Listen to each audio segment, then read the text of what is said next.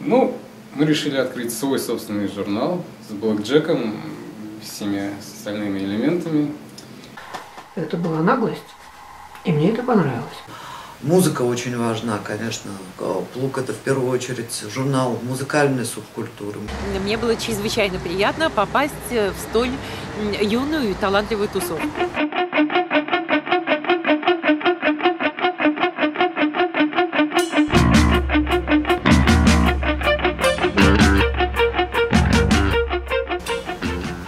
Осенью, в октябре 2009 года, да, присутствовал при зачатии всего детища. Получилось очень смешно.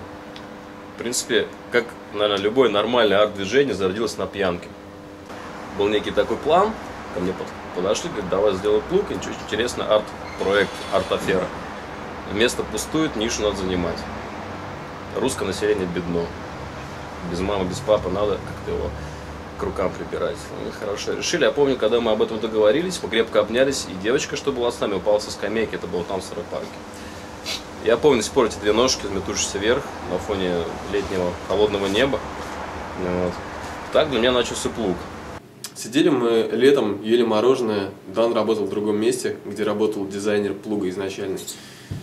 И видно было в его глазах желание сделать отдельный печатный орган Печатный орган созрел к зиме и выстрелил очень метко целой серией бумажной продукции. Получилось довольно много хороших журналов, особенно, конечно, с голыми бабами на обложке были самые удачные выпуски. Журнал верстать было интересно, то есть с нуля не было ничего, кроме текстов на самом деле. И зато эти тексты были по большей части хорошие. Ну, я не люблю судить, хорошие или плохие, но они были интересные. Во-первых, потому что ничего такого свободного по форме до этого у нас в Таллине не делалось. А, и совершенно было даже не важно, о чем пишут ребята, главное, что у них были полностью развязаны руки, как у капитанов Африка. Нам надо было срочно куда-то ехать, и тот, кто попросил там-там, сказал, заедет на машине. И мы по этому случаю решили попросить нас заодно подкинуть в город или куда-то там мы опаздывали. Мы спустились вниз, в машине был Дан. И так мы познакомились. И в машине мы разговаривали, кто чем занимается. Оказалось, что Дан занимается журналом «Плуг». Я такая няшка. Здесь мне всегда было интересно рассказать именно о той части культуры в нашей стране, которая, так скажем, не на поверхности. Потому что понятное дело, что обычно газеты Э, журналы, телевидение и радио показывают, пишут и рассказывают о тех вещах, которые, что называется, являются массовой культурой. Массовой культурой, элитарной культурой, одним словом, теми э, вещами, теми мероприятиями, которые интересны, так скажем, большинству жителей нашей страны. Мне же всегда был интересен и тот пласт культуры, который находится где-то внизу. То, что называем словом underground. Об этом никогда не писалось в основном, если и писалось, то в каких-то э, очень э, небольших эстонских газетах типа Кескус. И вот однажды э, от человека по имени Пичи Дред, да, в, э, в миру его зовут Дима Маканин, я услышал о том, что появляется новое издание в нашей стране. Небольшой журнальчик кар э, карманного формата, который будет рассказывать людям именно о том, чем живет такая андеграундная русская и не только русская тусовка. Можно читать э, чьи-то тексты, чьи-то интервью, чьи-то материалы у кого-то в ЖЖ, у кого-то где-то еще на сайтах. Но вот так, чтобы это было настолько вот сконцентрировано в одном месте, так вот он появился, журнал «Плуг». Есть такой замечательный журнал «Плуг». И... Ну, теперь я для «Плуга» ну, рисую. Как-то раз... Я следил э, за этим журналом изначально, начиная с э, первых номеров, и я, честно говоря, даже не предполагал, что когда-нибудь я займусь этим тоже что я тоже буду вовлечен в этот процесс. Важно отметить, что жена Плуг любит котики. Я считаю, это первое, да. Это как бы уже окупать все остальное, да. Любую бумагу, любую печать, любых художников, которые заняты в этом. Нас любят котики. А что касается остального, конечно же, если такое явление появилось, то, наверное, оно назревало. С плугом меня связывают множественные, в том числе и родственные, дружественные связи. А что для меня значит вообще этот журнал? Это очень важная часть моей жизни в настоящее время. Это э, мой ребенок, наши дети, так сказать, дети нашего поколения – которые оказались в достаточно сложной ситуации. Ну, не такой сложной, как мы оказались. Разумеется, вам уже полегче. Но, тем не менее, все равно ситуация, конечно, сложная. Эстония, а, русская община, а, снижение уровня образования, несомненно, наблюдаемо. И вот в этих условиях а, сохранить язык, сохранить культуру и воспроизводить эту культуру очень важно. Зовут меня Дмитрий Николаевич, и не иначе, потому что в этот момент я представляю интересы просвещения и образования, так как работаю школьным учителем, до этого проработав экологом. То есть фактически, если я пытался спасать мир после, то теперь я пытаюсь спасать мир до, но, по-моему, это бессмысленно, но неважно. А... А как-то таким образом, что в нашем маленьком коллективном бессознательном витала мысль о том, что мы непременно должны захватить все радио, все телевизоры и влиять, собственно. Поэтому так все, наверное, и произошло. Какие-то там статьи в газетах, театральные постановки, музыка, стихи, книги. Журнал должен был быть. Поэтому э, мы, конечно, были счастливы. Мы это, я, там, мои коллеги, единомышленники, э, что в Эстонии появился такой орган молодежной субкультуры, который не только э, развлекает, но объединяет в первую очередь с совершенно определенными целями и определенными задачами молодежь. Это в первую очередь музыканты, и, там, поэты, художники. А, каждый из которых идет каким-то своим путем, а, есть что-то другое за душой. И тем не менее они формируют некое комьюнити.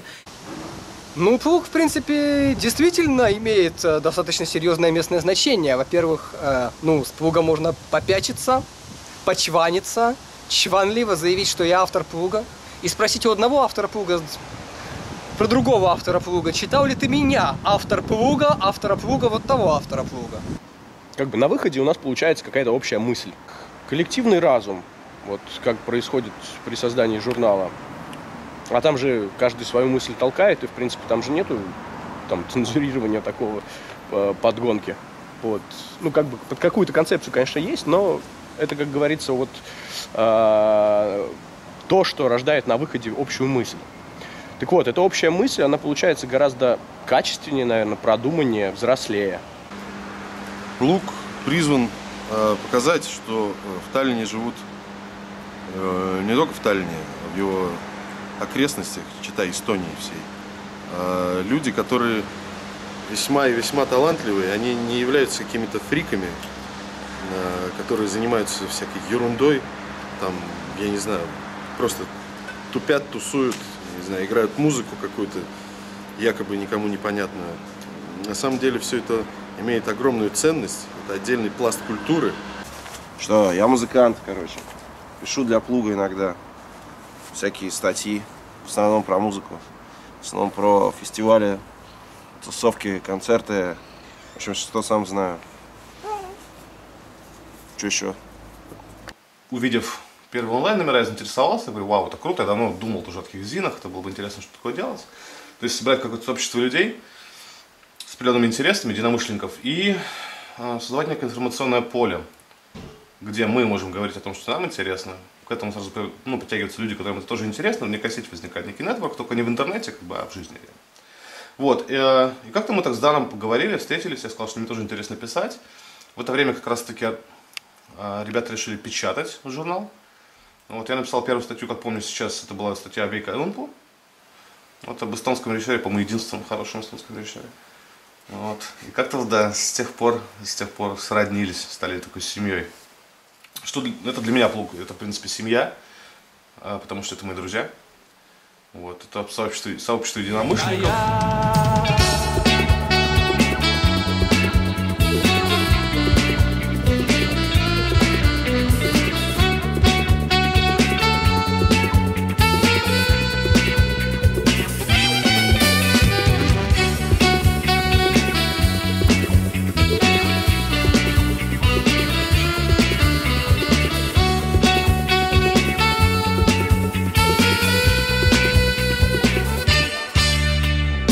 Я вообще считаю себя таким инструментом во всем этом процессе, так как, наверное, главные действующие лица это авторы и иллюстраторы, так как они делают журнал, ну, я в свою очередь помогаю э, соединить в одно целое.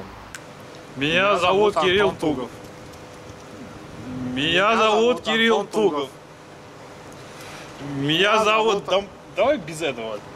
И что дальше? Нет. Я могу сказать одно, что и абсолютно искренне сейчас, что благодаря плугу я вот э, как-то за эти три года чувствую, как я развивалась творчески, в плане даже набивала руку, что ли. Ну, вообще, если честно, очень давно мечтала иллюстрировать, э, именно что-то попробовать иллюстрировать, потому что люблю читать, нравилось иллюстрировать стихи. А, Поэтому вообще мечтала бы этим заниматься всю жизнь, мне кажется. А человеку как-то, может, хочется реализовываться, идти дальше, и плуг — это просто уникальнейшая возможность как раз людям открыться, показать, что они делают, завязать нужные знакомства, связи, показать себя, и действительно это огромный для многих людей толчок к развитию какому-то. Плуг это хорошо, хорошо. Хороший такой рабочий инструмент в руках студентов и подрастающей молодежи, а может и стареющей молодежи. Для меня плуг это была отличная возможность начать э, свою карьеру иллюстратора, э, начать как-то реализовывать свои фантазии на его страницах. Ну, вот именно визуально мне очень нравится Пук. Именно с э, лого, иллюстрацией, то есть таких изданий, как бы, для которых до сих пор кто-то специально сидит, рисует что-то для определенной статьи, ну, таких не осталось, как бы часов фотографии все-таки чаще всего. То есть, ну, мне очень нравится визуальная часть. Мне редакторы говорят, что они хотят, как они это видят. Я пытаюсь немножечко проникнуть к ним в голову и посмотреть, как они это видят, и по- по-своему это как-то воплотить. Это очень интересно, А, огромный experience, и я по себе смотрю, что я с каждым номером, с каждым заказом, так сказать, я расту, расту и развиваюсь. Моя техника рисования немножко отличается от других, потому что я рисую в пейнте. Ну, кроме карандаша, но для плуга я рисую в пейнте, мне нравится в пейнте рисовать. Он легкий, но изначально из-за этой легкости получается что-то такое экстраординарное, достаточно интересно. сам издат нашего времени. Как бы, где вот, в общем-то, любой человек может прийти, принести заявку и без долгих там каких-то редакторских заморочек. Как это там в каких-то больших, серьезных газетах, там цензура, редактура, там глянец, там все как-то форматы. В общем, такой неформатный журнал, в который любой человек может принести и, скорее всего, его опубликует, и, и это будет интересно другим людям прочитать. И, и сделано это просто и, и как бы, в общем-то, с душой. Всем пацанам из Нарвы привет! первый экземпляр, по крайней мере для меня тогда первый экземпляр в музее. А а затем э, и стала следить по интернету, что там издается, что печатается. И в конце концов еще услышала передачу по Радио 4 про плуг. Олеся так вдохновенно рассказывала о том, как они это все делают, что я решила написать ей и сказать, что я тоже хочу участвовать. И, по- и поэтому именно этот журнал, мне даже, что мне более, наиболее интересно, не то, что там, скажем, я и мои знакомые что-то делаем там, а мне интересно то, что появляются новые люди, которые сначала являются читателями, потом начинают писать или рисовать для журнала. И у меня, я очень такой человек достаточно, ну, в этом плане, не то чтобы корыстный, но у меня какие-то свои интересы. Мой главный интерес то, что я узнаю что-то новое всегда о других людях. Каждый человек это совершенно ну, отдельная вселенная. И когда я читаю статью человека, который когда не знал, и потом я понимаю, что я его могу встретить хоть завтра, потому что мы живем в одном городе, но мне это как-то возбуждает. Черт подери. Ну, Мы, наверное, немножко, потому что потеряны, не так сильно потеряны, как кто-то другой, наверное, да, но отчасти у нас в этом есть. Мы не все, не все из нас, скажем, вошли в современные реалии с твердой ноги, но мы взяли что-то с собой из 80-х, из Советского Союза, и, может быть, именно вот это есть причиной, почему печатались, потому что в тот момент, я помню, эти вот ЖЗЛ, эти издания, эти детская литература, эти, не знаю, там, Белая гвардия, вот эти вот, вот эти вот эти издания, они же, тут, от, конечно, не шершавицы, например, да, плуг шершавицы, кстати. Может быть, не весь, но те, что у меня есть, они шершаются, может быть, я их просто шершаю. Не знаю. Они шершавые, это прекрасно, ты же вот, просто вот открываешь, и он, и запах. Черт знает, чем это пахнет. Оно пахнет по-книжному сексуально, букинистически эротично. Вот что до значимости плуга, то давайте исходить из утверждения Оскара Вальда, который говорил, что всякое искусство совершенно бесполезно. Вообще, если говорить о значимости любого журнала или любого издания, то мы договоримся до демагогических каких-то заключений. Э, Вот он существует, и это замечательно. Он существует в бумажном виде, что замечательно вдвойне, поскольку бумажные издания сегодня те, что можно помять, пощупать, подчеркнуть, заложить э, и, и, и так далее. То, что является вещью нашего обихода. Э, Я обожаю книги с- на которых кто-то рисовал, ел блины, закладывал, писал записки. Э, Это, это знак отношений с текстом. И плуг дает такую возможность. Собственно говоря, право на существование плуга я никогда не оспаривал. Мне сама идея очень нравилась. Любую такую инициативу, особенно у нас в Эстонии, в такой маленькой стране, я старался, стараюсь поддерживать. Но когда был плуг еще помоложе, дико плевался от контента, я читать это не мог. И, и сейчас, к сожалению, не все могу читать и все, что публикуется в плуге.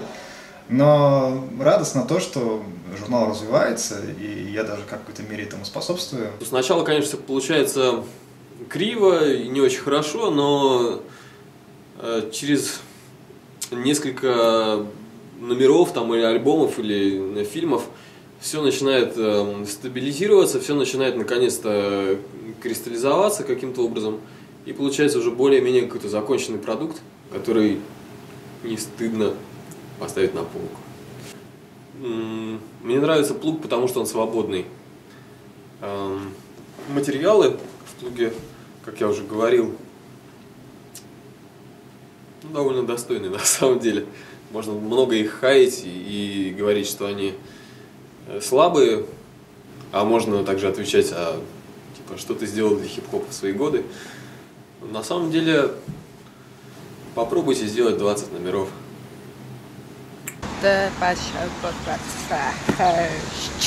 Получился стишок. Опа-па-па-па. Потому что, конечно, опять же, да, если повторяться, У нас не, не про «Ну погоди» фильм, да ведь? Уникальный э, печатный орган, не подумайте ничего плохого, э, который позволяет э, всем тем, кому есть что сказать, э, найти свой голос, выразить свое мнение, отстоять свою позицию и просто внести свой вклад во что-то большое, красивое и очень значимое. Здравствуй, Маша. Здравствуй. Как тебя зовут? Меня зовут Люба. Каждый раз, когда я сажусь в такси утром, почему-то часто такси задает мне вопрос. Один раз это была женщина. И я чувствовала, будто бы я сдаю экзамен. Она задала мне вопросы. Она увидела, что я садилась в такси, прощалась с большой компанией друзей. И она спросила, а, а вот вы, вы вот ну, молодежь, вот компания, а вот с вами вообще есть о чем поговорить? Вот вы чем вы увлекаетесь? У вас есть какие-то увлечения? Что вы вообще делаете в такой поздний час?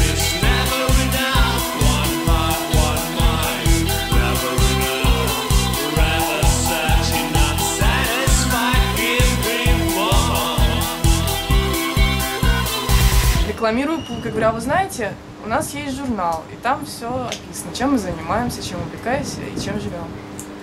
А, они просят продиктовать сайт, адрес. Я не знаю, читают ли они его потом или нет, но мне кажется, это очень удобно, поскольку в блоге описано как раз все то, что происходит, и происходит всегда много. Так и я втянулся в это. Как раз вот эти вот вечеринки, типа в Емеле, которые были, и Манка, они были вот таким центром. И по сей день тоже вот спутник и все это остается. Но теперь это как-то вылилось в более такое, что ли, ощутимое что-то. И люди присоединяются все больше и больше, это радует, потому что даже когда мне говорят незнакомые люди, что да, мы слышали, круто. И от чего, от чего это движение пошло? И сейчас можно сказать, если раньше была эта манка-тусовка, я бы сказал, сейчас она плуганутая или как-то так. То есть Изначально тусовка была сформирована вокруг музыки и музыкантов в те еще времена, когда это было манка-тусовкой. А потом плуг возник какой-то такой момент всеобщего спада этого движения. И, что интересно, привлек к деятельности тех людей, которые раньше не были задействованы в этом процессе. Иллюстраторов, авторов. Гораздо больше разных людей смогли что-то делать в рамках и за рамками этой тусовки. А потом, в свою очередь, уже из плуга вырос спутник, новая музыкальная тусовка, которая притянула какую-то новую кровь во все это движение. Как-то так. Журнал «Плуг» играет в нашем пространстве информационном огромную роль. Он очень нужен всем нам. Ведь только оттуда мы узнаем информацию о нас самих и о них самих.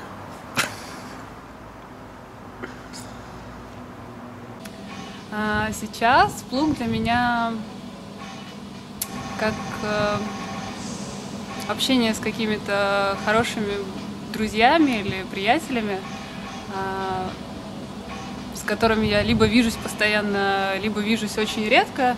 И когда я его открываю, то, в принципе, сразу чувствую присутствие каких-то важных и интересных людей. Близко бывали там и видели, знаем, но как-то они все это пропускают через, через немножко другие фильтры. И очень так занятно ну, смотреть, как сверстники и наши современники видят это ну, как бы с другого угла, с другой стороны, и рассказывают те же истории, которые мы пережили. Вот. Ну, я ВКонтакте прочитал призыв, что ищет людей, которые могут сотрудничать. И написал что-то вроде того, что ну давайте я для вас что-нибудь нарисую. Мне ответили, конечно, только мы не платим. Это была наглость, и мне это понравилось, поэтому стал сотрудничать. Плуга. Жизнь плуга будет долгой. Конечно, все зависит и держится на энтузиастах и энтузиазме. Написал письмо и предложил свою помощь в иллюстрировании. Э, люди с удовольствием согласились, и мы вот уже, наверное, больше года как вместе общаемся с людьми из Плуга, с Плугом. Про Плуг мне рассказал Кирилл Тугов. Кирилл Тугов рисует в Плуг, а я один из его номеров – самый неудачный, верстал. Запорол все, что можно было запороть. А, все потом меня хвалили за это. Рисунки оказались половинчатыми. Лично для меня это был первый опыт такого вот тупизма. Тринадцатый номер, страницы через одну, все довольны одним словом. Оказывается, те люди, с которыми я живу и общаюсь в какой-то неформальной обстановке, вдруг что-то пишут внезапно. И вот открываются, открываются какие-то новые грани этих людей. Потому что когда человек э, не в очень трезвом состоянии тебе рассказывает, это одно. А когда он сел и взял себя в руки и сознанием, более-менее сознанием русского языка это все изложил, получается уже не, нечто, какой-то другой такой эффект. Журнал, о журнале «Плуг» я узнал буквально пару лет назад, когда там вышла э, рецензия на мой роман «Путешествие Хануман на Лоланд», мне показали журнал с рецензией, я этому очень обрадовался, потому что немногие писали о романе, и я был просто приятно изумлен, и немедленно написал в этот журнал и решил показать свои миниатюры, которые, собственно, не ожидал, что будут напечатаны. Я очень доволен, что у нас есть такой журнал. Очень приятно. И там печатают то, чего не печатают в России? Например, Володю Ларченкова недавно напечатали в журнале. Его уже давно не печатают и рассказы. Рассказы вообще с большим трудом печатают. А когда высказываешься резко, как Володя, о толстых журналах и о том, что происходит в России, он все это называет советчиной. В общем, это похоже на колхоз, но и его не печатают. А вот в журнале «Плуг» напечатали его рассказ, это очень приятно. Плуг берет самые авангардные тексты. Плуг печатает самые-самые мои безумные интеллектуальные проекты. И за это я ему очень-очень благодарна. Это уже идет как публикация, и я могу ее вставлять в отчет.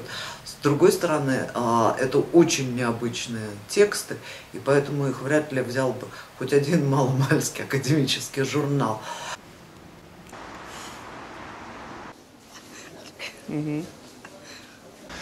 Если представить водолаза, который опускается на глубину океана, он дышит кислородом, который у него находится сзади, в баллонах.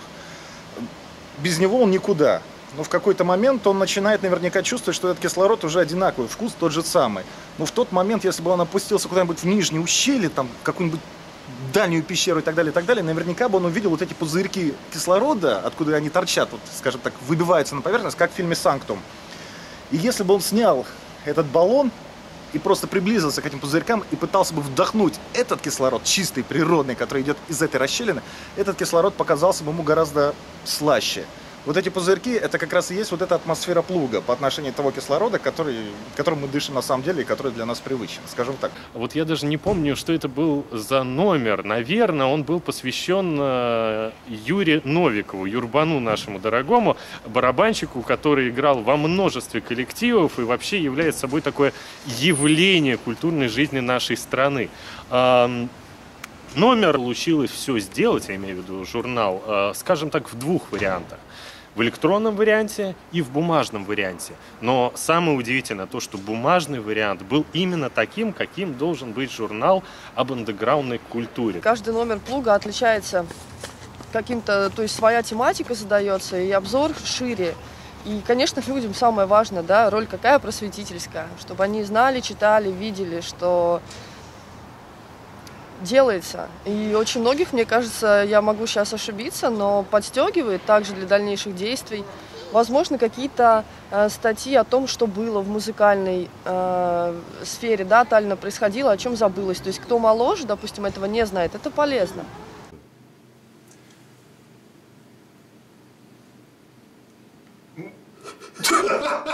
Сто грамм записи, плуг.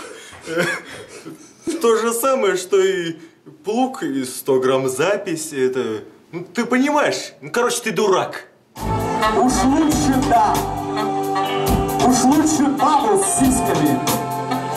Большую черную бабу с сиськами. Огромную черную бабу! Без головы!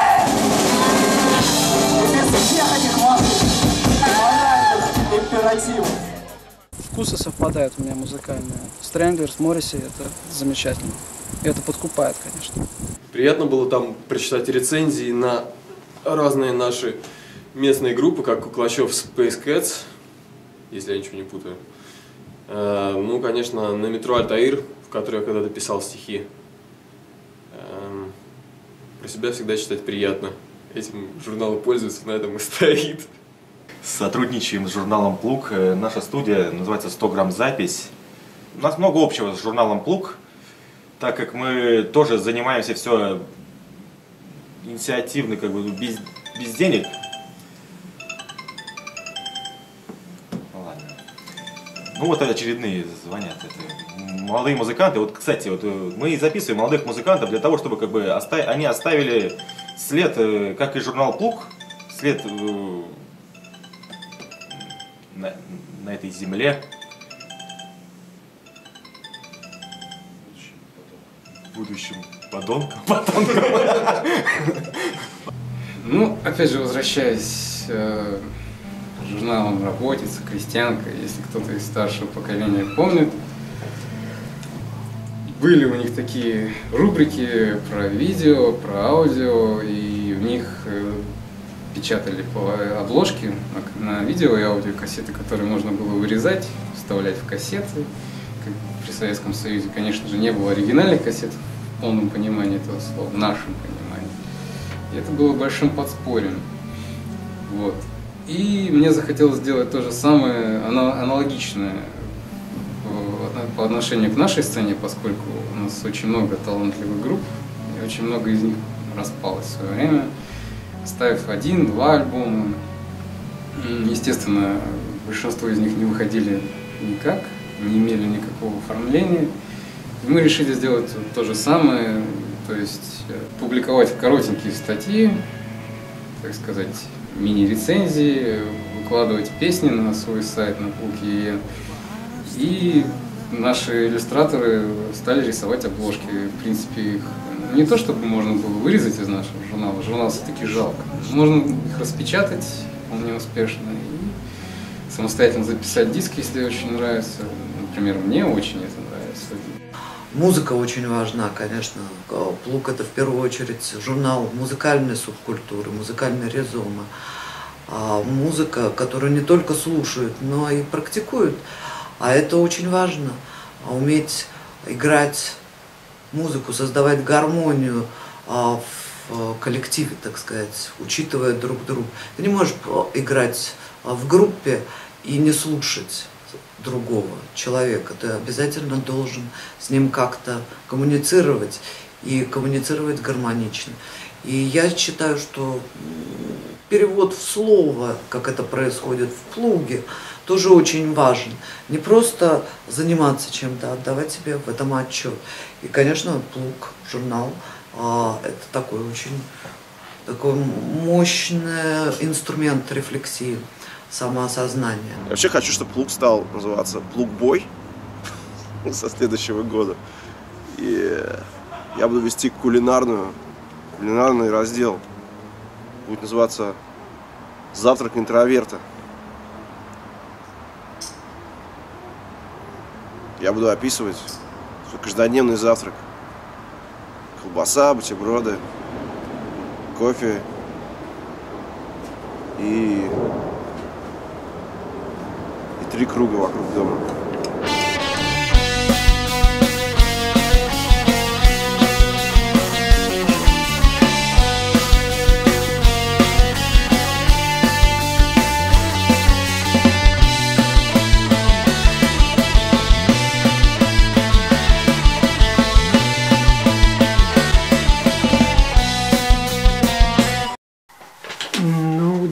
Что я постоянно живу в России, в Петербурге. Поэтому с культурным пейзажем Эстонии знаком не очень. Я думаю, что это важное дело, чтобы в Эстонии был русскоязычный журнал, тем более такой интеллигентный, молодежный. Если бы он был совершенно был бы не нужен, ни нам, ни им, он бы давно закончился, он и есть до сих пор. Значит, есть какая-то минимальная поддержка. Кто читает, кто-то пишет, кто-то заинтересован.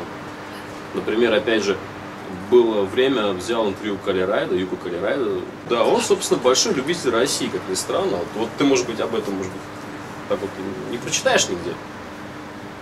А он большой любитель России. И более того, он любитель России не в том смысле, что он является ребенком России. Нет, он любит Россию как некий объект, которому интересно изучать, который для него вечно интересен как объект изучения. Он же изъездил там Чукотку, Сибирь, где он там, он в каких-то там песках тонул, как он мне рассказывал, насколько я помню. Вот. И вот, вот он же нас, принципе, поддерживает. Это не Кескус газета, да? Какая деревянная буква К такая, по-моему, да? Она стоит во всех более-менее артовых местах. Куму, Ванкраль, что угодно. Стоит у них. И он же нам позволяет туда класть свои вот эти вот, наши эти вот эти вот, наших этих детей, да, криворожденных вот на эти вот К, и как бы их оттуда разбирают даже может быть, даже эстонцы. О журнале «Плуг» я узнала от Юку Галлерайда, который принес мне тоненький, тоненькую такую тетрадочку и сказал, это журнал, от которого ты придешь в восторг. Я сказала, от чего же? Он говорит, ну вот просто придешь в восторг. Почему? А он открыл мне какую-то первую основополагающую статью, и там была в эпиграф вынесена цитата из моего рассказа. И естественно, что журнал, который берет в эпиграф цитату из моего рассказа, вызвал мое самое горячее расположение, и с этого начались наши отношения с с Плугом, который неоднократно печатал мою короткую прозу. Что, если учесть, что это молодежный журнал, для меня большая честь, и мне было чрезвычайно приятно попасть в столь юную и талантливую тусовку. Ну вот политика — это постоянные свежие крови, то есть это эти авторы, которые не сидят, не работают в каком-то офисе, да, то есть это не репортеры, не, ну, как, я думаю, что профессионалов не так уж и много, которые именно работают вот именно связаны с журналистикой или еще с чем-то. То есть постоянно вот эти новые идеи. Очень хорошо, что этот журнал доступен именно там, где и находится его целевая аудитория, например, в университетах, каких-то небольших студенческих и не только студенческих кафе, одним словом, где собираются те люди, которые делают искусство вот таким, какое оно должно быть. Искусство, которое нужно хотя бы одному человеку. Вот это самое важное. Потому что если об этих группах, этих художниках и писателях узнает хотя бы я не знаю, 2-3 человека, может быть 10-15, а может быть и тысяча, две тысячи, это будет огромным прорывом. Это будет именно то, чего нужно достичь, э, если мы говорим о жизни в андеграунде.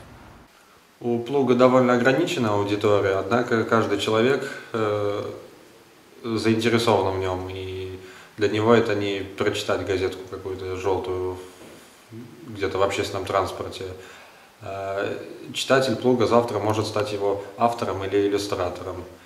Э, поэтому э, Плуг живет и выпускается для этих людей. Мне кажется, что для русского ума характерно закрывать глаза на то, что происходит вокруг. То есть вот что бы ни появилось, реакция сначала такая, что «Ой, по-моему, этого с нами не случилось, это не наше, мы это не любим, мы сейчас победим, побежим читать оригинал». То есть, если это какая-то там музыка или кино, то да, мы лучше посмотрим что-нибудь английское, потому что там-то уже гарантированно научились, да. Ну и с, с периодикой примерно такая же ситуация. Э, он может кому-то нравиться, кому-то не нравится, и даже лучше, если он будет не нравиться, и даже, и даже если лучше, если таких людей будет больше. Сейчас Плугу уже три года.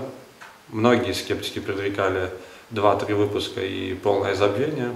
А нет, журнал живет э, своей хорошей насыщенной жизнью, э, связанные с ним мероприятия проводятся. Уже образовалось такое комьюнити любителей плуга, который на него даже подписывается, что помогает выходу новых номеров. И плуг лично для меня доказал, доказал мне, лично для меня доказал мне, что надо продолжать заниматься тем, чем я занимаюсь. То есть играть, угорать, веселиться, писать, играть, опять же, играть, играть, играть.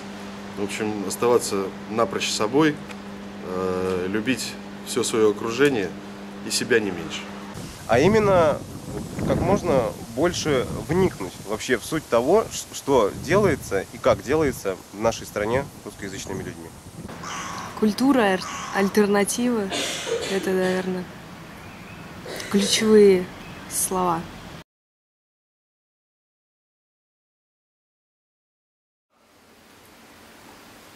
Концепция большинства номеров рождается у меня в голове. И потом я делюсь ею с авторами, посылаем импульс.